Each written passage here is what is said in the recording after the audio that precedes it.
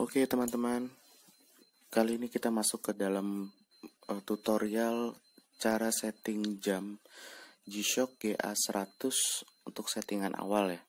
Kita kali ini mau coba uh, kasih tutorial untuk setting jam awal pada saat pembelian atau memang sudah lama pakai lalu ngaco jamnya. Itu bisa disetting ulang dengan cara seperti ini.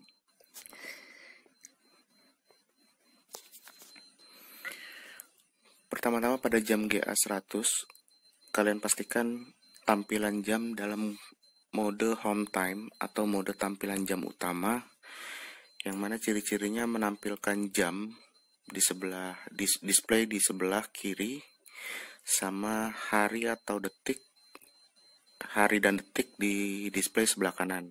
Atau display sebelah kanan juga bisa berubah uh, bulan tanggal, bulan titik tanggal dan detik bawahnya itu mode home time. Atau kalau untuk lebih pastinya lagi tekan tombol mode kurang lebih selama 3 detik tombol mode di sebelah kiri bawah. Sampai bunyi beep. Nah itu udah pasti masuk ke mode home time. Setelah masuk di mode home time untuk mengaturnya kita tekan tombol adjust. Tombol di kiri sebelah atas selama 3 detik ditahan tombolnya sampai ada tulisan yang berkedip.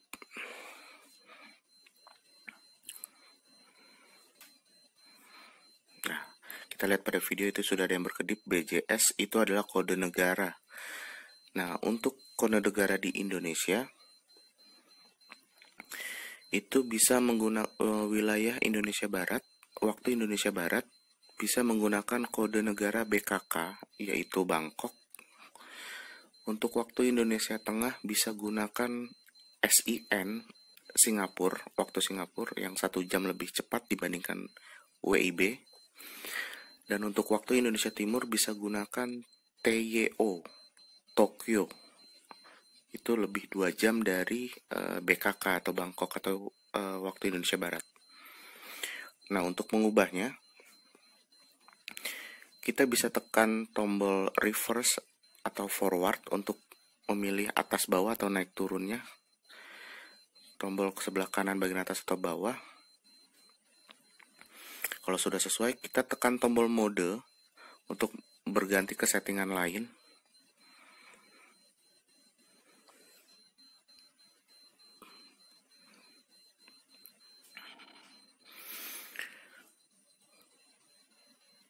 Nah, ini urut-urutannya setelah setting kode negara, kita ada setting DST.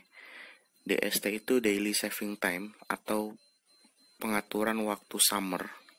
Nah, karena di Indonesia tidak ada summer, jadi itu kita off kan. Nanti setelah setting kode negara, tekan mode, nanti masuk ke settingan DST, itu pilih off.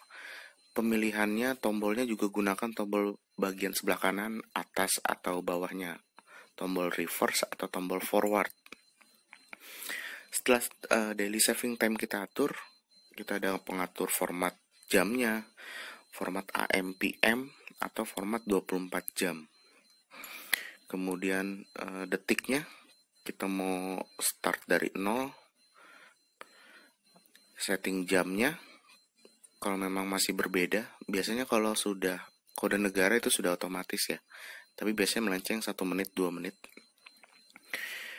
Lalu setting jamnya kita tekan tombol mode lagi berganti ke settingan menit. Itu kita ubahnya juga menggunakan tombol bagian sebelah kanan. Kalau sudah tekan tombol mode lagi pengaturan tahun. Pengat, eh, tekan tombol mode lagi ke pengaturan bulan. Dan untuk eh, apa namanya tekan tombol mode lagi itu masuk ke pengaturan hari.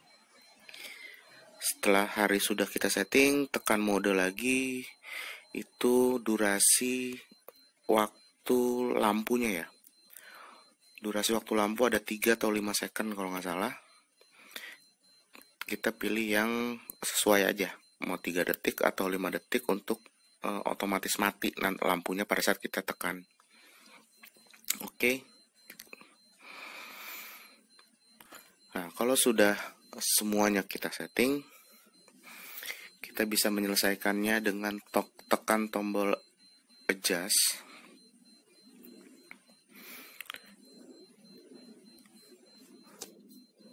Sekali saja tekan tombol adjustnya untuk menyelesaikan settingan yang sudah kita setting tadi semuanya. Dan nanti jam pada yang kita, yang kita setting pada jam digitalnya jarum analognya akan mengikuti sesuai settingan yang sudah kita setting tadi jadi kita nggak perlu putar-putar karena ini bukan jam G-Shock KW jadi nggak ada kron atau nggak ada putaran untuk memutar jarumnya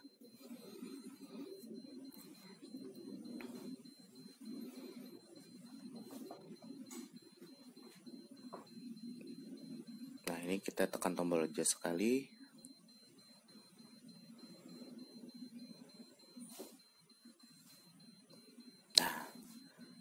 Pengaturan selesai. Oke, terima kasih teman-teman sudah menyimak tutorial cara setting awal jam G-Shock GA100 ini.